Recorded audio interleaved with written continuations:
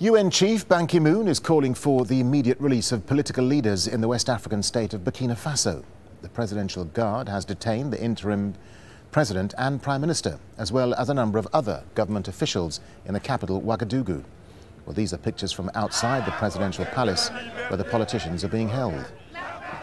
Earlier, soldiers reportedly fired warning shots after hundreds of protesters gathered near the building. It's feared that what's happening in Ouagadougou may be a coup staged by the elite regiment just weeks before Burkina Faso holds a general election. Interim President Michel Kafando and Prime Minister Isaac Zida came to power only last year, and that happened after a popular uprising forced the former leader Blaise Compaoré to resign.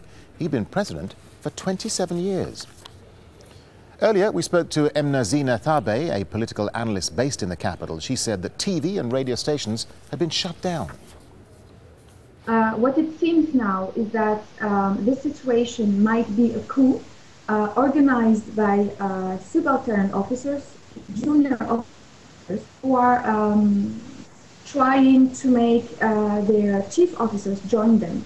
And it seems also that the uh, Blaise Compaoré, former party, the CDP, who was in charge of, the, this country for more than 20 years, um, is somehow taking advantage of the situation and uh, saying, affirming um, that uh, this situation was not unexpected.